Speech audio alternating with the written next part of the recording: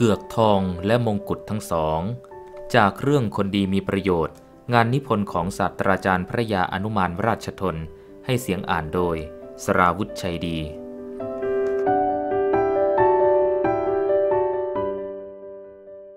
กษัตริย์ทรงสุบิน เช่นเดียวกับราษฎรทั่วไปฝันเหมือนกัน กษัตริย์แห่งประเทศเมซิโดเนียทรงสุบินว่า พระองค์เป็นคนไถนาหวานไถทองผงลงไว้ ครั้นแล้วก็เสด็จออกไปทอดพระเนตรเห็นข้าวงอกงามออกรวงเป็นทองคำอยู่มาไม่ช้าพระองค์เสด็จออกไปทอดพระเนตรอีก เห็นเหลือแต่ตอสัง มีผู้ร้ายมาลักเก็บเกี่ยวข้าวรวงทองไปเสีย พระองค์สำเนียกเสียงในสุบินว่า เจ้ามิตรริเดติส ลักข้าวรวงทองหนีไปทางทะเลดำ เมื่อตื่นบรรทมดำรัสกับโอรสว่า พ่อจะต้องฆ่ามิตริเดติสเสียจงได้ เราได้รับรองเลี้ยงดูเจ้าองค์นี้ฐานเพื่อนเป็นอย่างดี แต่ตามฝันของพ่อ พ่อแน่ใจว่า เจ้าองค์นี้จะคิดคดต่อพ่อและตัวเจ้า ผู้อ่านคงลงความเห็นเช่นเดียวกันอย่างแน่นอนว่า กษัตริย์องค์นั้นไม่มีอำนาจอันชอบธรรมอันใด ที่จะทรงเชื่อสุบินร้ายของพระองค์ แล้วทำร้ายเจ้ามิตรริเดติส พระองค์ผิดถนัดทีเดียว จึงอยู่ความฝันย่อมมีผู้เชื่อถือกันมาก ถึงกับมีหนังสือพิมพ์ออกจำหน่ายเป็นตำราทำนายฝันต่างๆ ด้วย แท้จริงไม่ควรยึดถือความฝันนั้นว่าเป็นจริงไปหมด ว่าอาจจะบอกโชคดีโชคร้ายให้แก่เราได้ เจ้าชายทิมิตรีอุส ผู้โอรส ทรงวิตกถึงภัยที่จะเกิดขึ้นแก่เจ้ามิตรริเดติสเพื่อนของพระองค์มาก แต่ไม่กล้าจะเพชรทูลพระราชบิดาช่วยเหลือได้อย่างไร จึงจำเป็นต้องถวายสัญญาว่าจะไม่พูดแพร่งพรายข่าวร้ายให้ทราบถึงเจ้าชายมิตริเดติส ครั้นเสด็จออกจากเฝ้า เจ้าชายทิมิตริอุสทรงรำพึงแก่พระองค์เองว่า จริงอยู่ตัวเราถวายสัญญากับพระราชบิดาว่าจะไม่พูด แต่เราจะหาอุบายแจ้งเหตุร้ายให้เพื่อนทราบไว้โดยไม่ต้องพูด ต่อมาไม่นานนักเจ้าชายทั้งสององค์เสด็จออกล่าเนื้อพร้อมด้วยขุนนางหนุ่มๆหลายคน เมื่อได้ทีเจ้าชายทิมิตริอุสพยักพระพักให้เจ้าชายมิตรริเดติสเสด็จเข้ามาข้างพระองค์ ครั้นแล้วพระองค์ทรงชักดาบออกเขียนลงบนพื้นดินว่าหนีมิตรริเดติส เจ้าชายมิตริเดติสทรงทราบความหมายทันที เมื่อเสด็จกลับก็เตรียมการหนีพอมืดลงก็ขึ้นทรงม้าขับหนีลอบมาลงเรือข้ามทะเลดำไปเอเชียน้อย ท่านจะเห็นได้จากเรื่องข้างต้นนี้ เจ้าชายทิมิตริอุสกอบด้วยพระนิสัยอันดีงาม ช่วยเหลือเพื่อนฝูงในยามมีพยันตรายสำหรับข้อนี้ควรนับว่า พระองค์ได้ทรงกระทำในกิจอันพึงกระทำแต่เกรงอยู่ว่าจะไม่เป็นข้อนำมาซึ่งความสรรเสริญแด่พระองค์มากนัก กล่าวคือ พระองค์มีพระนิสัยโปรดการสงครามยิ่งกว่าสิ่งอื่นทั้งสิ้น ขณะเมื่อมีพระชนอยู่ในเขตปฐมวัย พระองค์ได้ยกกองทัพไปกระทำศึกกับนานาประเทศ ในทวีปเอเชียน้อยบ่อยๆ มีชาติอาหรับเป็นอาทิ คราวหนึ่ง พระองค์ทำศึกกับพวกอาหรับชนะ จับได้อูฐเจ็ดร้อยตัว จากนั้นพระองค์ยังยกทัพไปรบกวนกระทำศึกสงครามกับหัวเมืองต่างๆ ในประเทศกรีซ ประเทศอิหร่าน ประเทศอียิปต์ และอื่นๆเนืองๆสมัยนั้นหัวเมืองต่างๆ ในประเทศเหล่านั้นอยู่ในความปกครองของชนชาติกรีกโดยมาก เพราะเมื่อก่อนที่พระเจ้าอเล็กซานเดอร์มหาราชสิ้นพระชนม์ พระองค์ตีเมืองไหนได้ก็โปรดตั้งให้นายทหารของพระองค์ไปปกครอง เพราะฉะนั้นตกมาสมัยหลังจึงมีผู้ว่าราชการเมืองที่เป็นชนชาติกรีกในนานาประเทศหลายแห่ง เมื่อสิ้นสมัยโฟซิยอนแล้ว กรุงเอเธนได้ตกอยู่ในเงื้อมมือของพวกข้าศึก ที่คุมกันเข้ายึดนครไว้ พวกนั้นเป็นชนชาติกรีกเหมือนกัน แต่ในสมัยนั้นถือว่าผู้ที่มาจากเมืองอื่น มามีอำนาจปกครองเมือง โดยไม่ได้เป็นไปตามความประสงค์ของราษฎร ก็เป็นศัตรูของราษฎรเมืองนั้น เจ้าทิมิตรริอุสจึงรับสั่งให้เตรียมเรือรบ 250 ลำ เสด็จเป็นจอมทัพ ยกมากรุงเอเธน ฝ่ายข้างกรุงเอเธนไม่ทราบเรื่อง เมื่อกองเรือรบเจ้าทิมิตริอุส มาถึงปากอ่าว พลเมืองเข้าใจว่าเป็นกองเรือรบของผู้ปกครองนครเอเธน จึงไม่ได้จัดการป้องกันอย่างไร กองทัพเรือเจ้าทิมิตรริอุส เข้าปากอ่าวมาได้โดยเรียบร้อย ปราศจากการรบพุ่งต้านทาน เมื่อกองทัพเรือเข้าเทียบท่า พลเมืองได้มาดูอยู่มาก เห็นเจ้าทิมิตรริอุส ประทับยืนอยู่บนเรือรบ ทรงกระทำอานัตให้พลเมืองนิ่งฟัง แล้วพระองค์ให้นายทหารร้องประกาศขึ้นไปจากเรือว่า ดูก่อนประชาชนชาวนครเอเธน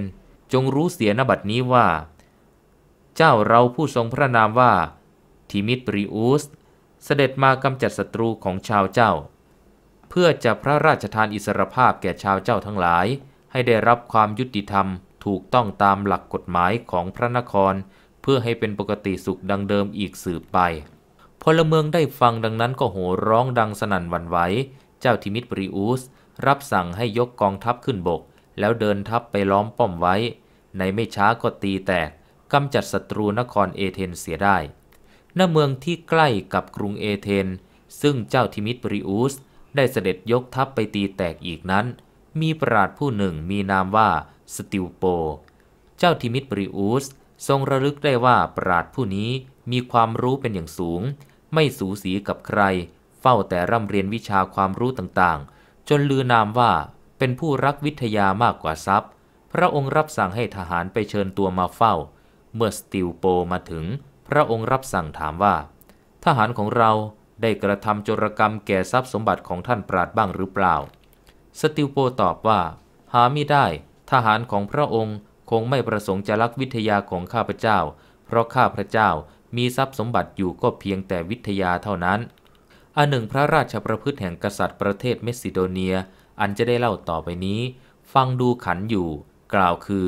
เมื่อเจ้าทิมิตบริอุสเสด็จออกจากประเทศกรีซแล้ว ได้ยกทัพเรือไปกระทำสงครามกับกษัตริย์กรุงอียิปต์กษัตริย์กรุงอียิปต์ยกกองทัพเรือร้อยห้าสิบลำออกรับ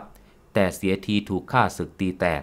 กองทัพเจ้าทิมิตบริอุสจับเรืออียิปต์ได้เจ็ดสิบลำนอกนั้นอับปางลงหมดทั้งกองทัพ เหลืออยู่แต่เรือรบพระที่นั่งของกษัตริย์อียิปต์ซึ่งหนีไปได้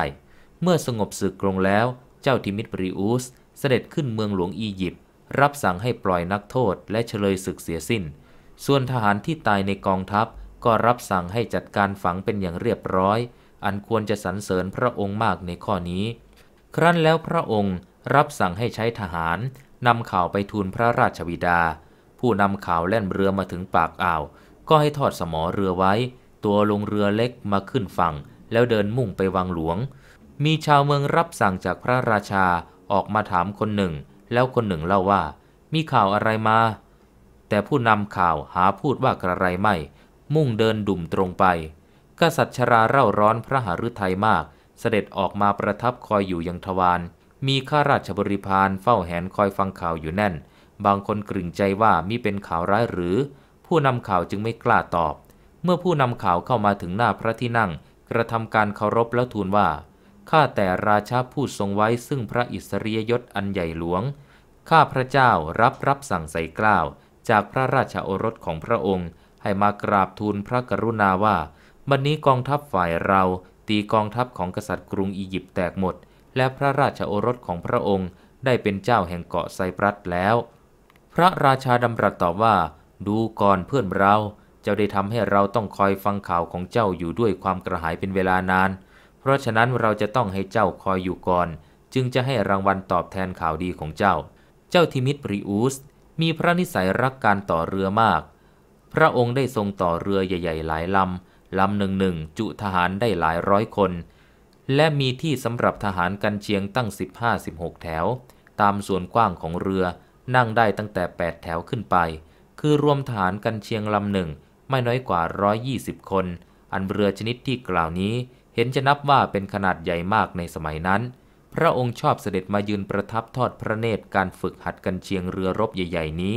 อยู่ตามชายฝั่งทะเลอยู่เสมอ อีกสิ่งหนึ่งที่พระองค์โปรดมากคือการต่อเครื่องสำหรับแย่งตีป้อมค่ายข้าศึกทำเป็นรูปรถขนาดใหญ่สูงตระงาน คล้ายหอคอยมีล้อสี่ล้อล้อหนึ่งสูงตั้ง 16 ฟุต เป็นชั้นหลายชั้น ชั้นหนึ่งหนึ่งจุทหาร และสัตราวุธได้มากมาย อันเป็นเครื่องสำหรับปีนขึ้นยึดป้อมสูงๆได้ดี เครื่องชนิดนี้สมัยนั้นถือกันว่า เป็นเครื่องมีอำนาจมาก ไม่ค่อยมีใครต่อสู้ได้ เพราะฉะนั้นเมื่อพระองค์ยกทัพไปหัวเมืองไหน จึงไม่มีข่าวว่าพระองค์ตีไม่ได้เลย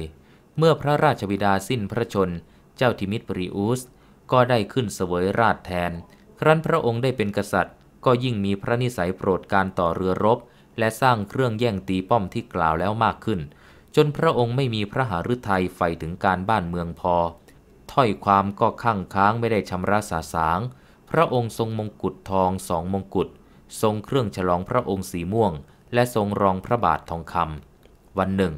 พระองค์กำลังดำเนินอยู่ตามถนนหลวง มีพลเมืองเข้ามาถวายคำร้อง พระองค์ทรงรับมาสอดไว้ภายในฉลองพระองค์ แล้วดำเนินต่อไป ถึงสะพานข้ามคลองแห่งหนึ่ง ทรงควักคำร้องออกมา แล้วโยนลงในคลอง หาทรงอ่านไม่ว่าเป็นเรื่องราวอะไร ยังมีหญิงชราคนหนึ่ง พยายามจะทูลข้อเดือดร้อนของตน ได้เคยถวายคำร้องหลายคราวแล้ว ไม่ได้รับพิจารณาอย่างไร วันหนึ่งพบพระองค์กำลังดำเนินอยู่กลางถนนหลวง หญิงชราคนนั้นจึงทูลขอให้พระองค์ฟังข้อเดือดร้อนของตน แต่พระราชารับสั่งห้วนๆว่า ฉันไม่มีเวลา หญิงชราโกรธมากจึงทูลว่า ถ้ากระนั้นพระองค์ก็ไม่ควรเป็นเจ้าแผ่นดิน วาจาอันมุทะลุของหญิงชรากระทำให้พระเจ้าแผ่นดินสำนึกพระองค์ขึ้นได้ เมื่อเสด็จกลับมาถึงพระราชวัง จึงรับสั่งให้นำตัวราษฎรผู้ที่ได้รับความเดือดร้อนต่างๆ เข้ามาเฝ้าทั้งสิ้น รับสั่งให้นำหญิงชราคนที่กล่าวแล้วเข้ามาเฝ้าก่อน เมื่อหญิงชราได้ทูลความเดือดร้อนจนจบลงแล้ว พระองค์ก็ได้รับสั่งให้กระทำโทษผู้ที่ประพฤติมิชอบแก่หญิงชรานั้น และรายอื่นๆ ก็ได้ทรงชำระสาสาง ให้ผู้ประพฤติผิดรับโทสานุโทษ พลเมืองก็ได้รับความยุติธรรม อยู่เย็นเป็นปกติสุขสืบมา แต่ถึงแม้พระองค์จะได้เปลี่ยนพระราชจัญญาวัตนี้ได้หลายเวลาก็ดี แต่พระหฤทัยของพระองค์ พระวงอยู่กับการสงครามเสมอมิได้วายเว้นที่จะทรงระลึกถึงการล้อมป้อม ทำลายป้อม โจมตีข้าศึกอะไรต่อมิอะไร อันเกี่ยวกับการสงคราม สงครามครั้งสุดท้ายของพระองค์ได้กระทำกันในระหว่างภูเขาและห้วยเหวกันดานในประเทศซีเรีย ด้วยเหตุที่การสงครามนี้ได้กระทำขับเคี่ยวกันอยู่เป็นเวลานาน และข้างฝ่ายกองทัพกษัตริย์ทิมิสริอุสต้องอยู่ในที่กันดานยิ่งกว่าข้างฝ่ายทัพข้าศึก เพราะเป็นฝ่ายรุก เพราะฉะนั้นทหารของพระองค์จึงหลบหลีกหนีหาย และไปเข้าข้างประปักเสียมาก เหลือสู้รบอยู่ไม่กี่คนนัก เมื่อกษัตริย์ทิมิสริอุสทรงเห็นเหตุดังนั้น ก็ดำริว่าจำจะต้องเข้าจู่โจมตีในเวลากลางคืน จะสู้รบกลางแปลงไม่ได้ เพราะกำลังน้อย พระองค์จึงเสด็จพาทหารที่เหลือไปซุ่มรอเวลาอยู่ในป่า พอดึกสงัดคาดว่าข้าศึกกลับอยู่มิได้ตระเตรียมตัว จึงยกทหารออกมาจากป่า เมื่อข้ามเขามา เห็นกองทัพข้าศึกตามไฟอยู่สว่างสวัยทุกค่าย ไม่มีเหตุผลอันใดที่จะสอให้คาดว่าข้าศึกไม่ได้ตระเตรียมระวังตัวอยู่ จึงเป็นอันหมดหวัง กษัตริย์ทิมิตริอุสทรงยอมเป็นเฉลยศึก ถูกกักอยู่ในประเทศซีเรียสามปี และสิ้นพระชนในปีก่อนคริสต์ศักราช 283 ชาวซีเรียได้จัดการถวายเพลิงพระศพตามประเพณีกรีก และบรรจุพระอังคารลงโกดทอง เชิญลงเรือรบข้ามทะเลไปขึ้นท่าเมืองคอริน พระราชบุตรของพระองค์ก็ได้มารับพระอังคารไปบรรจุไว้ในบ้านเมืองต่อไป